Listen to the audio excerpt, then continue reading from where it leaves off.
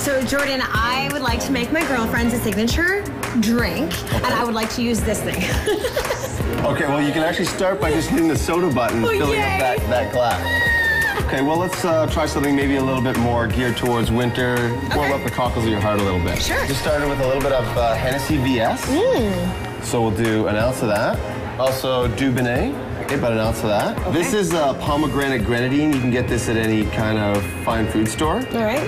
We'll do half an That's ounce good of that. That's good for you, too, right? Pomegranate, good for you? Pomegranate's great for you. Yeah, I think so. I, don't, I don't know if it still works when you start mixing with alcohol. Alcohol. Hey, you know. Everything's good when you have alcohol. Uh, these are brandy cherries.